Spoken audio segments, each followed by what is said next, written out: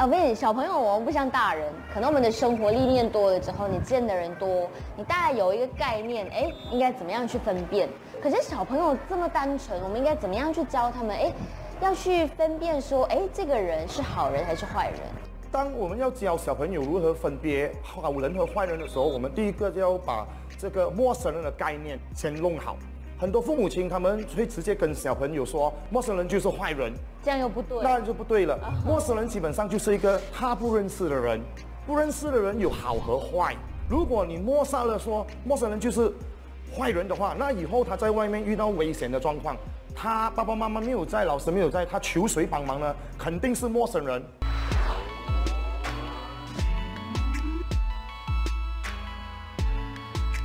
但是他印象中说，爸爸妈妈讲过，陌生人是坏人，他就失去了那个求救的机会。所以我们必须要教小朋友说，陌生人有分两种，一种是好的，一种是坏。那如何知道他是坏的呢？就是从他个人的行为，比如说摸你啊，他抓你啊，或者拿出一些物品啊，要骗你啊，甚至乎你，他可以说，我知道你的名字啊，你是爸爸哦，你爸爸的朋友啊，你爸爸进了医院啊，用这种技巧。来骗小朋友，所以我们必须要跟小朋友说：如果任何人你不认识的跟你说这番话，OK，你先不要紧张，不要害怕，确定这个事情，你才做决定。一般上你会怎样去跟就是小朋友讲说，你应该要小心。当一个人慢慢靠近的时候，我们尽量教他，就是说尽量保持安全的距离，就是说那个人伸出手是碰不到他的，摸不到他的。那么在很安全的情景底下，他必须要关注这个人的行为。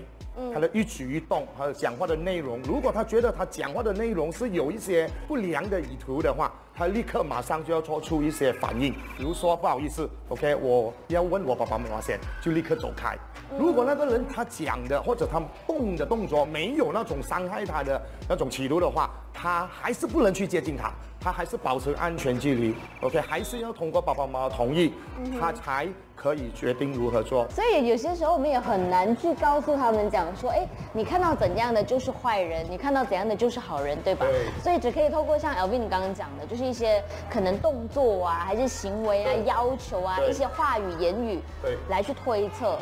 他应该怎么样做。在做安全教育的时候，最有效的方法还是在角色扮演。你如果只是把整个方程式你传达给小朋友，小朋友只是明白，他未必真正的去理了解的。所以你必须通过来演练。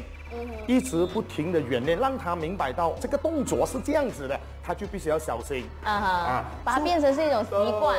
对，父母亲必须要时常跟小孩子做这方面的角色扮演，一直演练在不同的地点、不同的时间、不同的人物做演练，这样子才会有效。确实是这样哦，因为有些时候可能久久才上一次课，可能小朋友的记性也不太好，也没有办法呢，在当下发生状况的时候，马上可以 flashback 回当初老师教的是什么，所以。只有靠不停的演练，不停的重复做，让他们可以觉得是一种习惯，对，已经是很习以为常的事情，对，这样子他当下才可以在你知道不慌不乱，然后懂得应该怎么样去回应。